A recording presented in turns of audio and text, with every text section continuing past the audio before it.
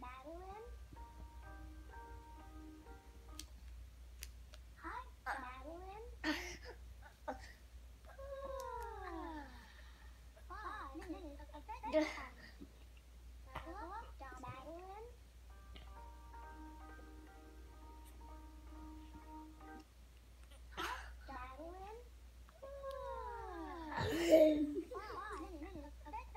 Is that funny, dear?